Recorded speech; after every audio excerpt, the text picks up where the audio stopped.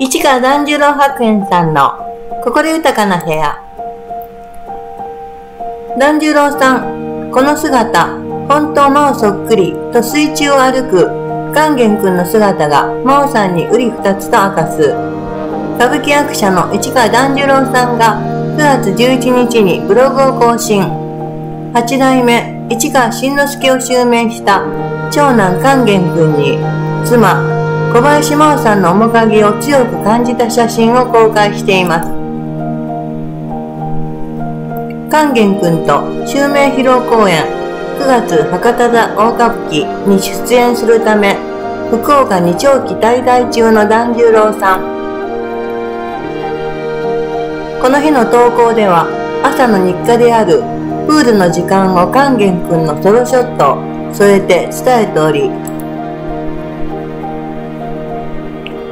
てか、この姿、本当もうそっくり、と水中を歩く姿が、小林さんに瓜二つであることを明かしています。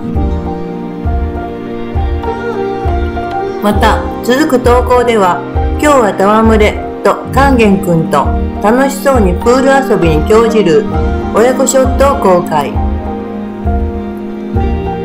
ァンからは、團十郎さんにしかわからないところですね。まーちゃんと動きがそっくりなんて。なんて嬉しいことでしょう。親って子供のふとした姿からママに似ているとかって思うものですよね。カンカンやレイカちゃんを通していつも真央さんを感じられるのはお幸せなことですね。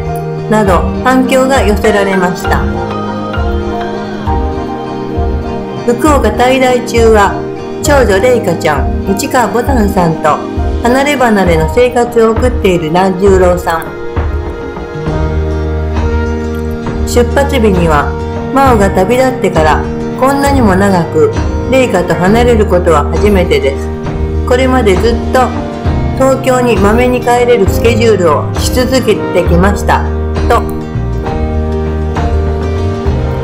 小林さんが亡くなった2017年6月以降は子供たちと離れる期間が少ないように仕事を組んでいたことを明かしました。